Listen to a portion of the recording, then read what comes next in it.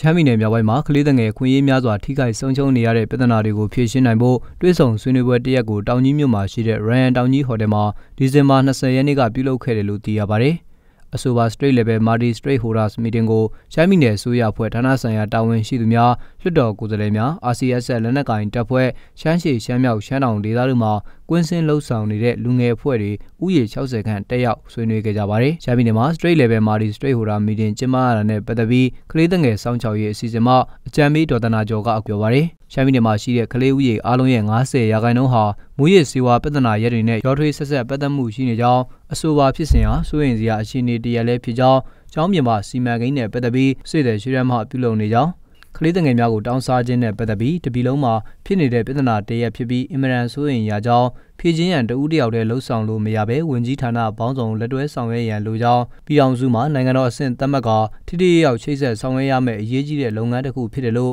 ကလေးငယ်စောင့်ရှောက်ရေးအစီအစဉ်မှအကြံပေးဒေါ်သနာကျော်ကဆက်လက်ပြောပါတယ်ရှမ်းပြည်နယ်မှာပြည်တွင်းစစ်ကြောင့်နေရက်ကို တိန်းကွာထွက်ပြေးရတဲ့အတွက်ပညာရေးနစ်နာရပြီးပညာသင်ယူဖို့အတွက်ခွင့်လန်းတွေခက်ခဲနေတာကြောင့်ကလေးတွေကပညာရေးကိုဦးစားပေးမခံရတော့ဘဲအလုပ်တွေဘက်ကိုငငယ်ရွယ်နဲ့ကူညီလောက်ကန်ရတဲ့ဘဝတွေလည်းအများကြီးရှိတယ်လို့ EBRB အသင်းမှကိုယ်စားလှယ်ဆိုင်းအောင်မြင့်မြတ်ကအခုလိုပြောပါတယ်။ဖြိုးဖို့ဆိုရင်ဒီပညာရေးဟာအရင်အရေးကြီးပါတယ်။ပညာတတ်လူငယ်တွေမရှိဘဲနဲ့နိုင်ငံတနိုင်ငံပညာရေးနိုင်ငံတနိုင်ငံဆိုတာဖြစ်လာဖို့ဆိုတာမလွယ်ပါဘူး။ဒါကြောင့်မလို့ကျွန်တော်ကပညာရေးကိုအဓိကဦးထားပြီးပြီးတော့မှ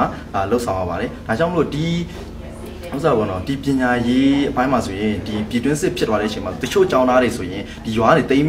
တိမ်ပြီးတော့မှတိမ်ရှောင်ပြီးတော့မှထွက်ပြေးသွားတဲ့အချိန်ကြရင်ဒီကျောင်းတွေပါမီးလောင်သွားတော့အခြားကျောင်းမှာကျောင်းသားတက်မယ်ဆိုရင်ဒီကျောင်းလက်မှတ်ကျောင်းကျောင်းလက်မှတ်တွေမရတော့တဲ့အချိန်မျိုးဆိုရင်ဆောင်းဝဲဖြည့်ခွင့်မရတော့တာတို့ဒီပါကြီးဖြစ်ခဲ့ရတာလည်းအများကြီးရှိပါတယ်ပြီးတချို့ဆိုရင်ဒီတချို့ရွာတွေရွာစွန်နေစွန်တွေဖျားမှာရှိနေတဲ့ရွာငယ်လေးတွေဆိုရင်ပေါ့နော်မူလတန်းကျောင်းအဆင့်ထိပဲ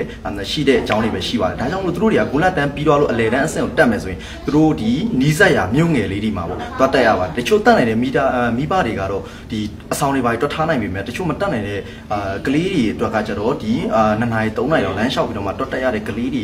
ရှိပါတယ်သူတို့တွေအတွက်ကကြတော့ဘာတွေခက်ခဲရှိလာနိုင်လဲဆိုတော့ဒီတွားတဲ့ခကြီးတွေဝေးကွာဖြစ်တဲ့အတွက်ကြောင့်မိဘတွေကလည်းဟိုနေ့တိုင်းလိုက်ပြီးတော့မှပို့ပေးဖို့ရမလို့မလွယ်ကူတာကတကြောင်ပြီးလို့ရှိရင်ဒီတွားလာရေးလမ်းကြောင်းမှာကလည်းလူပြက်တာလူပြက်တဲ့အတွက်ကြောင့်မလို့ဒီအဖမ်းခံရပြီးတော့လူကုန်ကူးခံရတာတွေကတကြောင်ပြီးရင်ဟိုဒီမတော်မတရားပြုကျင့်ခံရတာတွေကတကြောင်ဒါတွေအားလုံးတွေကြောင့်မလို့ကလေးတွေဟာဒီပညာရေးဘက်ကိုဦးစားမပေးမခံရတော့ဘဲနဲ့ကိုဒီအလုပ်တွေဘက်ကိုပဲငငယ်ရွယ်ရွယ်နဲ့ဟိုအိမ်အလုပ်တွေပဲကူလို့ရတဲ့အခြေအနေမျိုးတွေရောက်သွားတဲ့ဘဝတွေလည်းအများကြီးရှိပါတယ်ရှမ်းပြည်နယ်တပြည်လုံးမှာဆွေဘေးဒဏ်ကြောင့်ကြုံတွေ့နေရတဲ့ကလေးငယ်တွေရဲ့အခက်အခဲများ ကလေးငယ်ခွင့်ရေးဆိုင်ရာရပိုင်ခွင့်ဆုံးရှုံးနေရခြင်းကိစ္စရပ်များကိုကုညီဖြည့်ခြင်းဆောင်ရွက်နိုင်ဖို့အတွက်ဒေသခံများကလေးငယ်ရေးဆောင်ရွက်နေတဲ့အဖွဲ့များနဲ့ဌာနဆိုင်ရာတာဝန်ရှိသူများတို့တွေ့ဆုံပြီးဖြည့်ရှင်းနိုင်မဲ့နည်းလမ်းတွေနဲ့ရှေ့ဆက်လှုပ်ဆောင်မဲ့ action plan ထွက်ရှိနိုင်ဖို့ရည်ရွယ်ကျင်းပခြင်းဖြစ်တယ်လို့လည်းသိရပါတယ်